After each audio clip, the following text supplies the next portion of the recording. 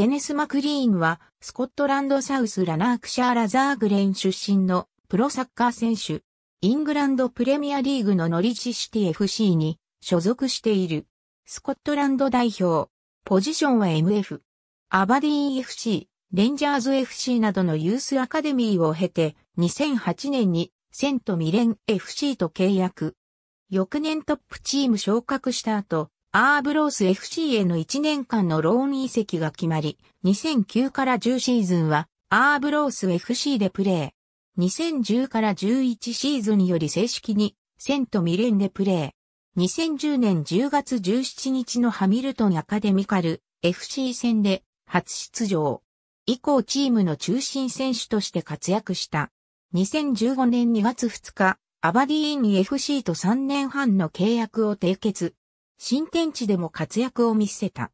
2018年1月22日、ノリジシティ FC と3年半の契約を結び、2018から19シーズンからの加入が決定。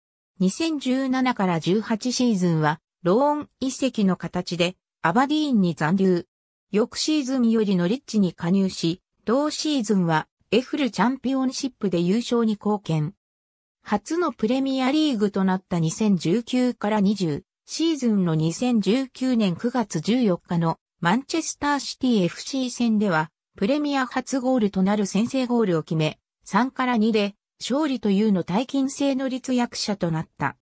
2010年10月に U-19 のスコットランド代表に招集され、翌年には U-21 代表にも招集。2016年にフル代表初招集。3月のチェコ戦での代表初出場。2019年3月のサンマリノ戦で代表初ゴールを決めた。ありがとうございます。